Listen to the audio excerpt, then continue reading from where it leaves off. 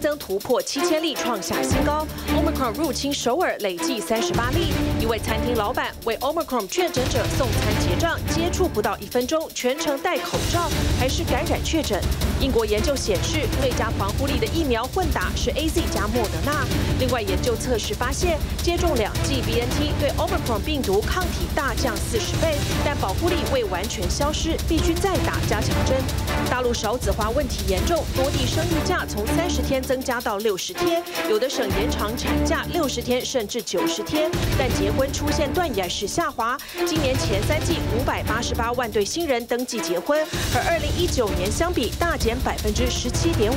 日本偷袭珍珠港事件八十年，上百位日本国会议员参拜靖国神社，遭批不反省侵略历史。美国多位幸存者重返夏威夷参加纪念仪式。中俄元首再度交锋，视讯对谈两小时。普京坚持不准北约在乌克兰扩大军力。拜登警告，俄国入侵乌克兰将关闭天然气管道，切断金融咽喉。观众朋友晚安，欢迎起来 Focus 全球新闻。今天我们全球新闻里面，针对 Omicron 有更深入而且不一样的解读，这包括了研究现行的疫苗怎么样可以针对 Omicron 用混打的方式，哪一种的防疫能力比较高，也包括了医界呢现在一致呼吁大家不要认为我们报道的两周来所有 Omicron 变种病毒都是轻微的症状，而认为它不会引起危险的重症。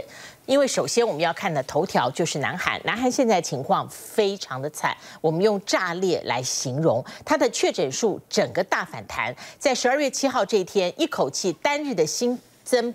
确诊数破了七千人，重症的通报在七千人当中还有八百四十例，严峻的程度前所未见。而且全新变种的 Omicron 已经全面进入南韩了。透过仁川教会，它已经进到南韩的社区，达到四次传播。南韩现在通报的感染 Omicron 的人数是三十八人，他们的症状是轻症，但是南韩当局持续观察整个 Omicron 本土的传播链，就发现它传播的速度实在太惊人。南韩有一个餐厅老板，他送餐结账的时候跟确诊者接触一分钟，他全程戴口罩，但是立刻被传染奥密克戎。现在不排除奥密克戎会透过空气传播，确诊数越来越失控。南韩的新冠收治医院已经饱和。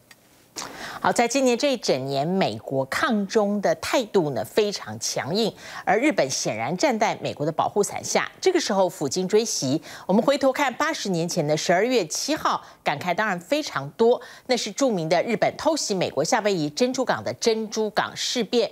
这个事变之后，小罗斯福总统立刻在隔天对日宣战。当美国加入二次世界大战，整个战局因此扭转。今年珍珠港事变八十年，在夏威夷举行了盛大隆重的追念仪式，在疫情下面还有八百人出席，其中呢有六十多位老兵，他们由非营利组织赞助之后飞往夏威夷，也许是隔了八十年吧，他们再次踏上珍珠港。感慨良多。现在美国二战退伍军人日渐凋零，包括前几天过世的我们报道的前重量级的参议员杜尔。那这个时候呢，日本还有一百个国会议员在十二月七号这天，他们是集体参拜靖国神社，引发了在二战当中遭到日本铁蹄凌虐的中国和韩国强烈不满，一致重炮重批日本毫不反省侵略历史。接下来我们镜头转到亚洲这一个国际都会香江，时近岁末了。同时呢，一般人认为外国气氛浓厚，毕竟曾经被英国统治那么久的香港，耶诞气氛过去呢在亚洲是数一数二。但今天到岁末的香江看，其实是空前的暗淡。最主要是香港的金融外籍人才纷纷离开。香港曾经因为广纳全球的中阶到高阶白领，社会开放。因此呢，站稳了国际金融中心的地位。但是这两年，香港的严格检疫措施，像是呃中国或者是澳门入境香港的隔离要十四天，包括我们台湾或者是其他地方非香港人士入境香港的话，扎扎实实隔离要三周。那么这么长的隔离时间，让外籍的人员纷纷出走，因为很难再当两地的空中飞人。包括香港自身的国泰航空也爆发了机师离职潮。因为这些国泰航空的机师说，他们整整两年不是在空中飞，就是在地面隔离，也就是说，他们脚踏陆地的时间永远在隔离，这种无休无止的永久隔离，让他们没办法再过下去这种日子。当航空界跟金融圈的外籍人才纷纷走失，那么香港的光芒确实在衔接世界上面会逐渐暗淡。高盛和摩根大通都发出警讯，要求香港政府放松管制，否则未来香港的人才流失将会加快加速，不可想象。好，在人际沟通上面呢，沟通把话说清楚，被认为是寻求和解或者缔造和平很重要的一环。在国际政治上呢，很多巨头在一起是大拜拜，像是 G7 或者其他的国际论坛。那么一对一的。呃，峰会当然有，但也有很多是属于朝贡式的，好像美国总统新当选的时候，世界各国都抢着能够拔到头香。那么跟他进行一对一的新的总统进行一对一的会谈，但这次非常特别，拜登和普京进行了长达超过两个小时的视讯会谈。这是因为拜登或许相信，透过充分的彼此了解，而不是彼此说服，能够缔造和平。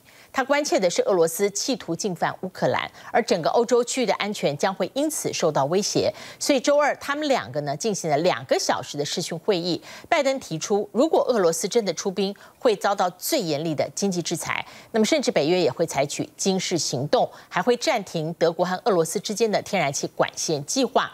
普京也把话说明白了，他画出红线，要求北约不要再在乌克兰扩军，也反对乌克兰作为北约的成员。这场视讯峰会没有达成任何的共识，这是预期的。那么乌克兰和俄罗斯之间的紧张情势，让白宫已经做好了撤侨的准备。台湾民众也非常熟悉的日本知名的风格设计师魏延武，他现在要在日本盖出第一座全部是纯木、全部木材的大楼。我们知道摩天楼，我们知道各种比高、比雄伟、展现实力或者是国力的建物，但是日本出要出现一座纯木大楼，非常令人期待。我们待会儿为您详尽报道。欢迎回来，继续 focus。我们要来看的是 IG 出现了一个非常空前的动作，它设计一种功能，就是现在先不看 IG，先停一下。那么，总的集团脸书在改为新名字 Meta 之后，一直强调元宇宙，希望能够摆脱自己的污名。它有太多争议了，所以它其他的 IG 才推出这个新功能，叫做 Take a Break，针对。会一直黏在 IG 上的青年少年，一旦使用时间过长，那么你的 IG 会跳出来警示通知，这个时间是你自己先设的。